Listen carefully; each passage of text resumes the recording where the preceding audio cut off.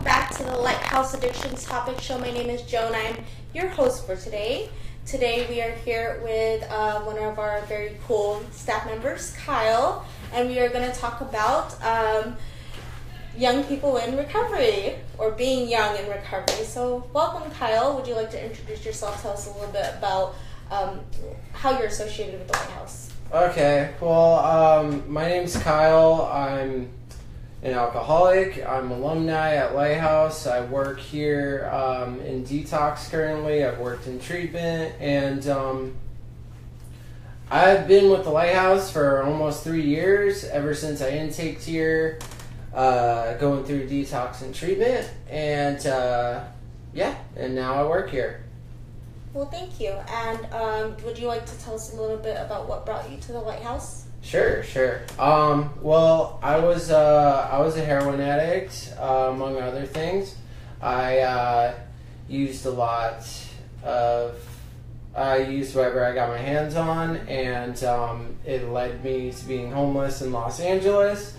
And after countless treatment programs uh, when I was younger, and countless times of uh, going in and out of jail and all that fun stuff uh, eventually had enough. Got a hold of my family. They got a hold of this place. I came here and only wanted to do detox. I wanted to do it for a week and bail and smoke some weed. But uh, I learned that maybe I should grow up instead. Right. And how old are you, Kyle? Uh, 26. And how old were you when you got sober? 23. So, what challenges did you face uh, being a relatively young, young person in recovery? Because I know, I mean, when you're around the age of 21, that's typically where normal or normie, uh, normies, um, you know, really explore, you know, the bar scene and drinking alcohol, uh, potentially, potentially leading them to other things. So, Well, um, yeah, it was hard. I mean, 23 years old, like, all my friends are partying. That's what we do. Uh, me, I didn't want to deal with growing up and being responsible for my actions. That shit's hard. Um, excuse my language. Um, anyways, that's hard. And, uh, it's, it's, um, got thrown off topic already. Anyways, it's hard because all my friends are partying. That's Right. what they do. In the weekend, they have whatever jobs they do, and then they go out and party. If you go to a show, like you're gonna go and, and drink and, and have a good time. And I felt like I was missing out on that. mhm. At the same time, I just overdid it at a very young age.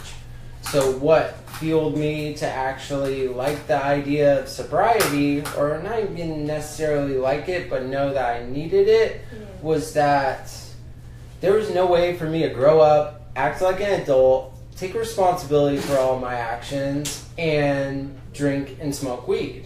And the way that I party, drinking and smoking weed, especially responsibly, Mhm. uh, is not in my nature. That's not fun enough for me. What What do you think the difference is from like a young person who's around eighteen to twenty five years old? What is the difference between their partying patterns compared to somebody who has an addiction or alcohol problem? Like someone who, uh, well, the difference is is their um, their chain of priorities. Honestly, you know, like someone that we would call a normie or someone who's normal and can uh, drink responsibly or maybe even smoke weed responsibly they uh, they have their priorities in check still they're either on a career path or working in their career Mhm. and they know that that's more important in life or they have their family members they have loved ones they have people that they put first before partying Right. so if partying starts to get in the way of those priorities, then they change it. They they stop the partying. They they take it down a notch and, and stop drinking so much, stop smoking so That's much. a really good point, actually. Can I bring up a point too? Yeah, absolutely. Okay, so I read this and uh, it makes a lot of sense. Is that they'll say the difference between an addict or an alcoholic, and the difference between an addict, an alcoholic, and a normal person Mhm. is that a normal person will change their behaviors to meet their goals. So they have That's the same true. goals in mind. Like, uh, for example, your goal is to go to college Mhm. and get a career as, I don't know, a doctor or something like that. Mm-hmm. So you have multiple schooling. Now, say they're partying a lot and their test scores start to show, like they were getting A's and now they're starting to get C's or D's Mhm. because they're partying too much. A normal person is going to say, you know what, maybe I should focus on school Mhm. and I should tone down on the partying and study more and get the good grades to achieve my goals. Yeah. Now- a good point. Now, an addict and an alcoholic is going to change their goals to meet their behaviors. So, same scenario. I'm in college to be a doctor, and uh, I'm partying too much and drinking, and my grades go from A's to C's and D's. Now, instead of changing my behavior and doing the same thing the normal person did, I'm going to say, you know what, maybe school's not for Mhm. me. Maybe I don't want to be a doctor, you know? And my partying still continues. So I'm changing my goals to meet my behaviors. That's a very, very good point. So you were talking about the challenge. Mind blown, exactly. Mic drop. So um, you were talking about the challenges that you face as a um, young person in early, or not early, but long-term um, sobriety. Um, so how do you? Uh, you've been sober for how long now? Again? Uh, next month will be three years, Oh, July 15th. So, how do you move forward in your recovery to obtain long term sobriety? Like, what are the things that you do? What is your weekly or monthly or daily schedule? Like, what are the things that you factor into your life that help you stay responsible and, you know, sober? Well, the things are is that I, I stay busy a lot. Um, for my first year, it was a lot of program. Yeah. It was a lot of AA. It was a lot of going to meetings, uh, being of service, everything that they tell you to do in meetings. Now, staying sober to me doesn't. I don't know. It, it doesn't seem as hard now. Like I, I'm used to it. I like the person that I am sober. I like my personality. I like the type of person I am. That's kind of why I continue to stay that way. Mm-hmm.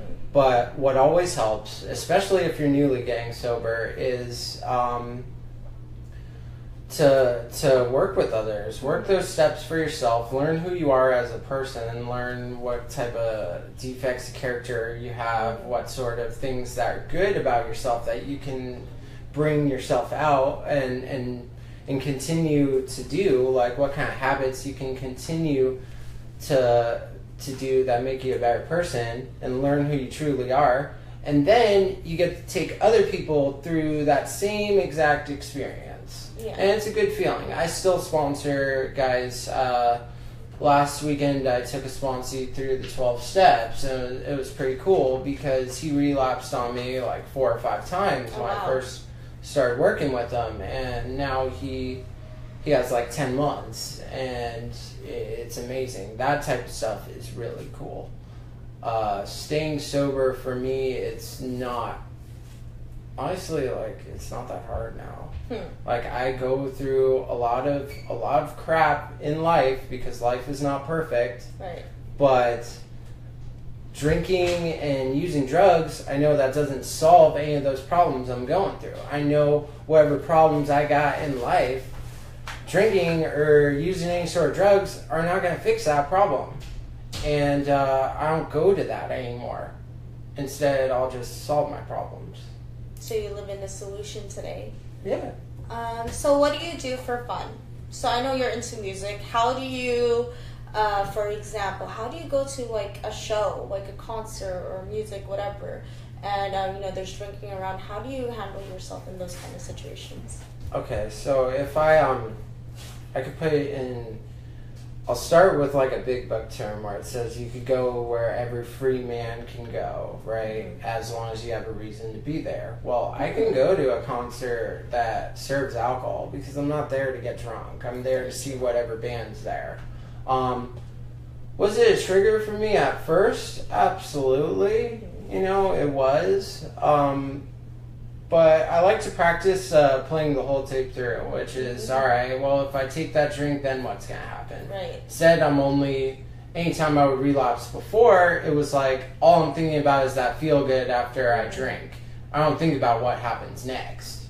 And a lot of times, a lot of bad stuff happens next. So, um, today, yeah, I could go there. It doesn't bother me because uh, that side of it, it, it's not appealing, and also I know like in life, it's not going anywhere. Let's be real. Drugs and alcohol Always are always going to be there. So for me, how do I not let it affect me? Um, I have a reason to be there. Like I'm there to see the band, so I'm actually enjoying it more because I'm focusing more of my time and energy towards the band that's playing. Or if I'm playing a show, that's when I'm there. I'm That's playing right. a show.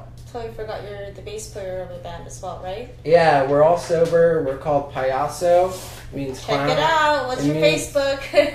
Payaso punks. Uh, how many people are watching this? uh, if they, whether they are or aren't, we're we're uh, we're a punk band. Uh, a lot of the members are old enough to be my dad, but that's okay. Um, and uh, you look us up, payaso. It means clown in Spanish, and uh, we're playing a show on Friday too. So let me promote some stuff real quick. yeah. We're playing a show on Friday, Doheny Saloon, San Juan Capistrano. Actually, a lot of sober people having fun. Now we can get back to topic. Okay. Well, what else do you do for fun? So you, um, you play in your band. You go to concerts or music events. Um, I know you. You're a little bit artistic too, right? I said artistic. Art- Yes. Artistic, Uh-huh. yes. I uh, do a lot of uh, art. Um, I draw a lot. I apprentice at a tattoo shop. Um, I'm into that sort of side. And when I was uh, when I was using drugs and uh, drinking, I didn't really get in touch with any of that side of myself. So um, yeah, I do that as well. Do you feel like you're more creative now that you're sober, or just more present in in what you do? The second one, for sure. You know, uh, I mean, I enjoyed music and I liked to do art when I was getting loaded. But the thing same. was, I was limiting my potential. You Very know, true. I'm not. It goes back to what I was saying with priorities. It wasn't a top priority. I wasn't focusing on that as a priority. I was, um, um, you know, I was getting high first, and then I do whatever else in life. Like, but my first go to is like I gotta, I gotta get well, or else my whole day is just surrounded about how can I get well. So, I'm not limiting my potential anymore. Right. Um, so, okay. Do you have any other advice for uh, young people who are in recovery? Absolutely. Uh, I got here's the advice. Um, believe me, I went to AA. I uh, I would be the first, and I would always say that the twelve steps in AA didn't work for me. Sobriety didn't work for me. That I was just destined to be a drug addict. And um, this time around, I uh, I actually got to know what the twelve steps are, and uh, to tell you the truth, like um, I didn't know what the twelve steps were. Every time I said those steps don't work for me Mm-hmm. because I never actually did them.